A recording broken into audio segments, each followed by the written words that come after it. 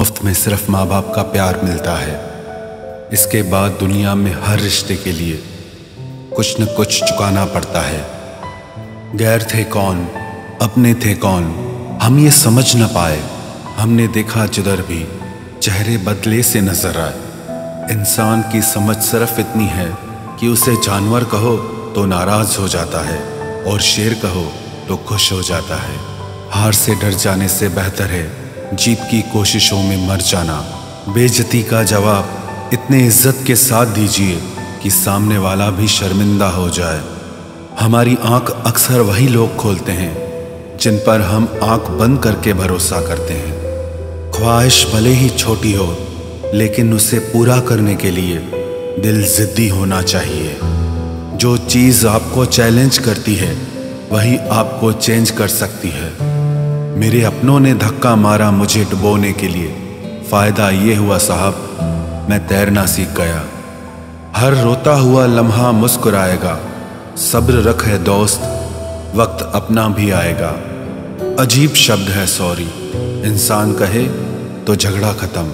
Doctor कहे तो इंसान खत्म। इंसान खुद की गलती पर अच्छा वकील बन जाता है और दूसरों की गलती पर सीधा जज बन जाता है। कैसे नादान हैं हम। दुख आता है तो अटक जाते हैं। सुख आता है तो भटक जाते हैं। मुझे अकेले चलने में बड़ा मज़ा आता है। न कोई आगे चलता है, ना कोई पीछे छूटता है। खुदा महँगी घड़ी सबको दे, पर मुश्किल घड़ी किसी को ना दे।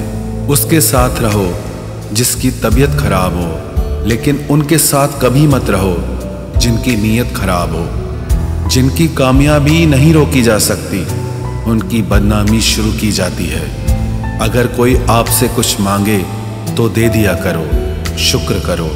ऊपर वाले ने आपको देने वालों में रखा है, मांगने वालों में नहीं।